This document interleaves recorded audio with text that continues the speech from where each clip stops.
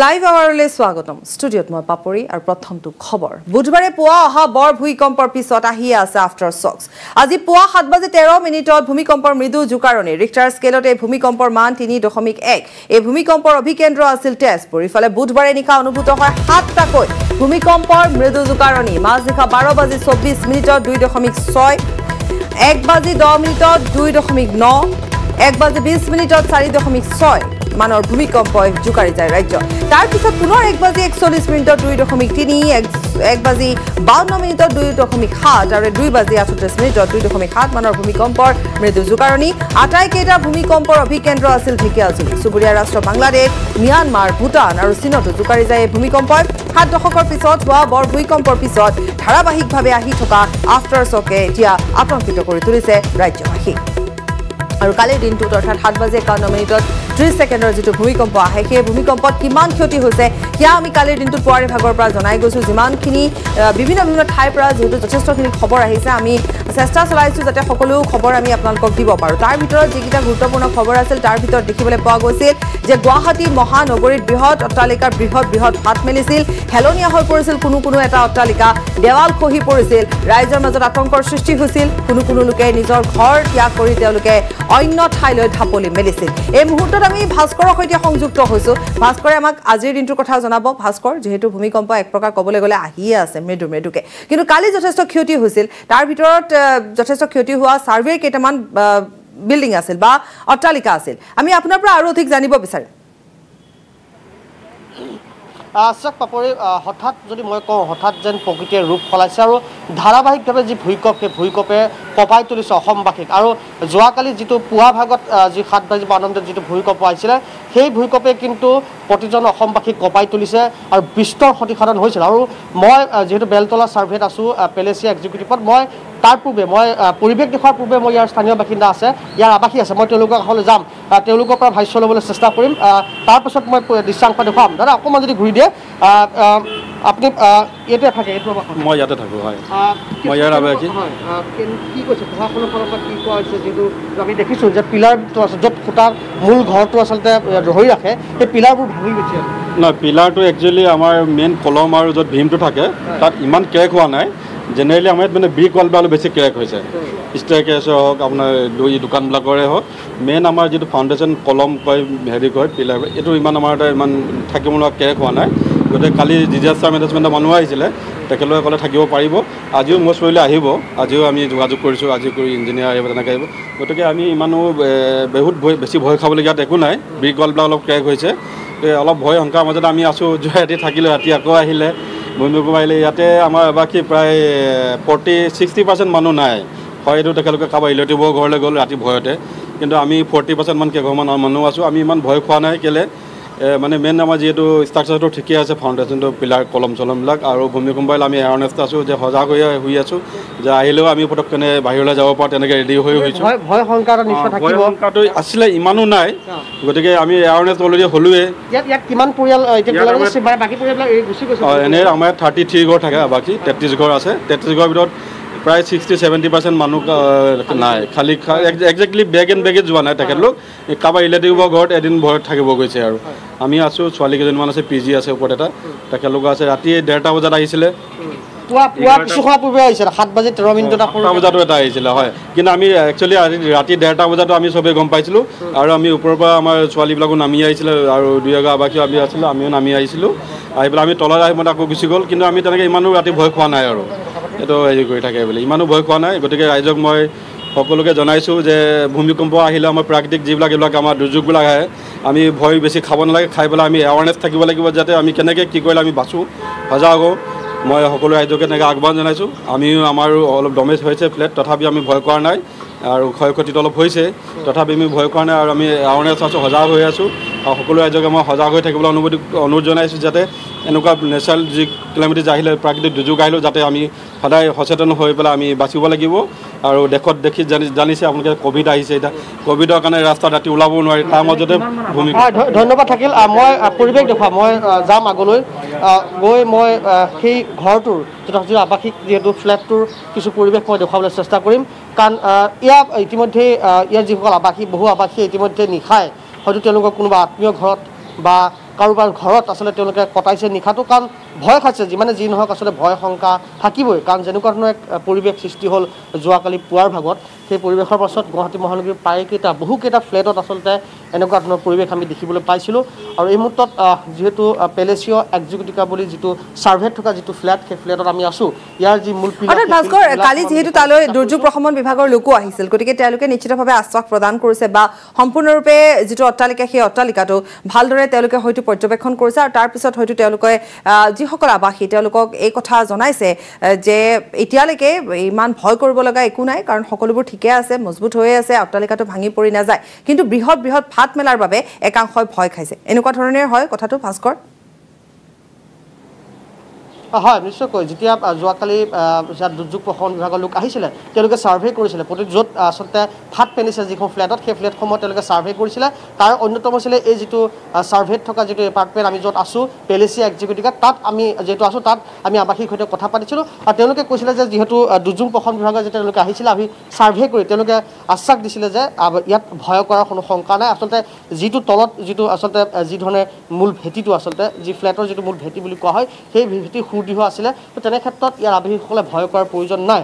আৰু যদিও বা আচলতে একাংশই স্বাভাৱিকতে কাৰণ যি ধৰণৰ পৰিৱেশ হৈছিলে স্বাভাৱিকতে ভয় কৰিব পৰিয়াল আছে শিশু সন্তান আছে। গতিকে সেইলোকৰ আশংকাত বা শংকাতে হয়তো কোনোৱে তেওঁলোকে ঘৰ আচলতে এৰি যোৱা নাই তাৰপাছতে তেওঁলোকে তেওঁলোকৰ নিজৰ আত্মীয় তাত নিশাৰ ভাগত কটাইছে। কাৰণ নিশা পুৱতি নিশাও ডেৰ বজাত ভূঁইকঁপ আহিছে পুৱা আজি পুৱাৰ ভাগতো আহিছে। গতিকে ধাৰাবাহিকভাৱে যিহেতু এই ভূঁইকঁপে কঁপাই তুলিছে আৰু তেনে ক্ষেত্ৰত ভয় খাইছে সাধাৰণ ৰাইজ হিচাপে ভয় খাইছে।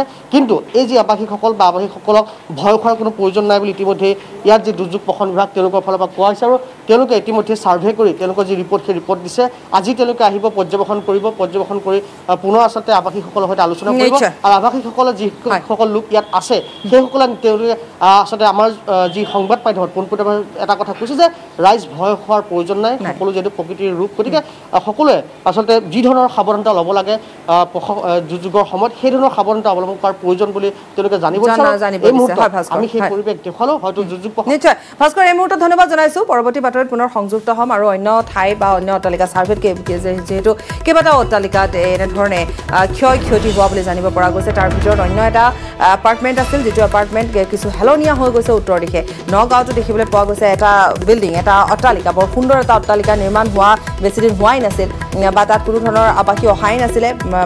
গতিকে তাৰপিছতে দেখিবলৈ পোৱা গ'ল যে বিল্ডিংটো বা অট্টালিকাটো হেলনীয়া হৈ অন্য এটা অট্টালিকাত লাগ খাই গৈছে। আৰু ইফালে আমি দেখুৱাই গৈছোঁ কেনেধৰণে মাটি ফাটি পানী ওলাইছে। বিভিন্ন ঠাইত এনেধৰণে মাটি ফাটি পানী ওলাইছে। আমি দেখুৱাই গৈছোঁ ফুৱাৰা সদৃশ পানী ওলাই আহিছে। ঠিক তেনেধৰণে পথ ফাটি গৈছে। দোকান পোহাৰতো বিস্তৰ ক্ষতি হৈছে। ভিতৰ ভাগতো গ্লাছ ভাঙি পৰিছে। অৰ্থাৎ ক'বলৈ গ'লে কালিৰ দিনটোত ত্ৰিছ ছেকেণ্ডৰ যিটো ভূমিকম্প আছিল সেই ভূমিকম্পটোত বিস্তৰ ক্ষতি সাধন হৈছে।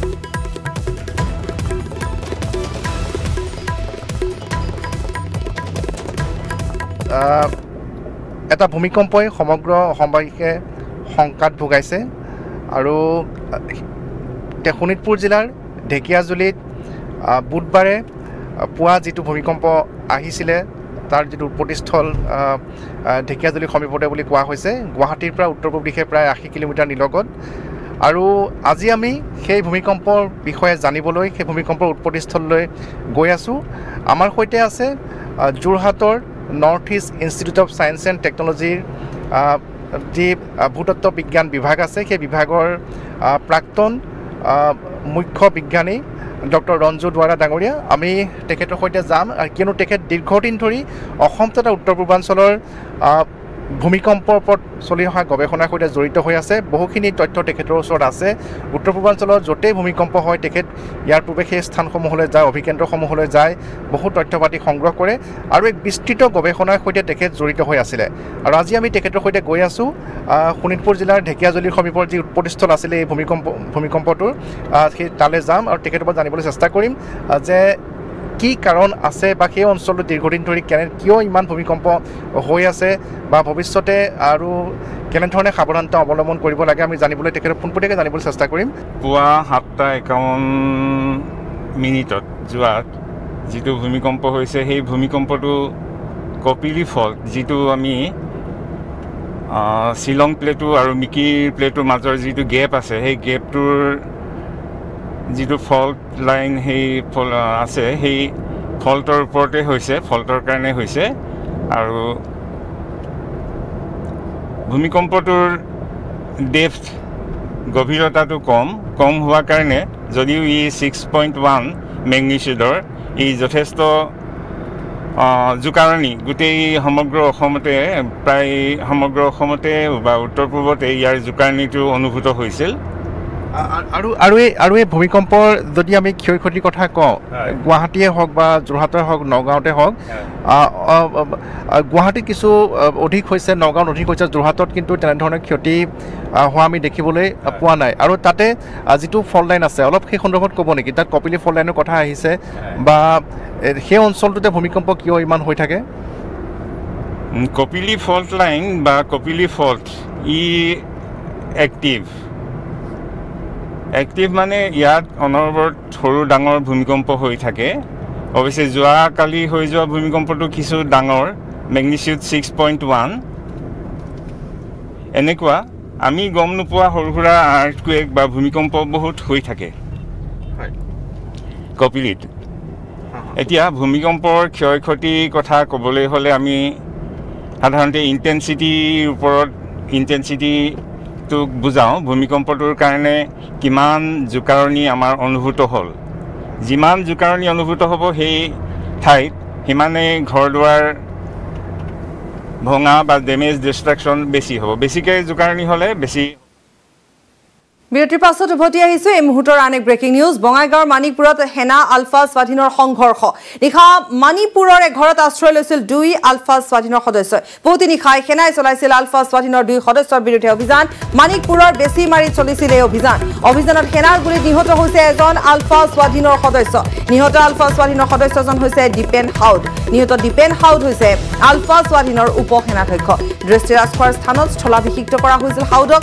আনজন আলফা স্বাধীনৰ সদস্যক গ্ৰেপ্তাৰ কৰা হৈছে। তৃতীয় আলফা স্বাধীন সদস্যজনৰ নাম হৈছে পদুম ৰায়। পুনৰ এবাৰ কৈছো বঙাইগাঁৱৰ মানিকপুৰত সেনা আলফা স্বাধীনৰ সংঘৰ্ষ।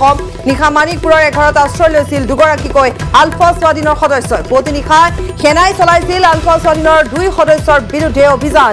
মানিকপুৰৰ বেছিমাৰীত এই অভিযান চলোৱা হৈছিল। অভিযানত সেনাৰ গুলীত নিহত হৈছে এজন আলফা স্বাধীনৰ সদস্য। নিহত আলফা স্বাধীনৰ সদস্যজন দীপেন হাউদ বুলি জানিব পৰা গৈছে। নিহত দীপেন হাউদ হৈছে আলফা স্বাধীনৰ উপ সেনাধ্যক্ষ দৃষ্টিৰাজ খোৱাৰ স্থানত স্থলাভিষিক্ত কৰা হৈছিল হাউদক।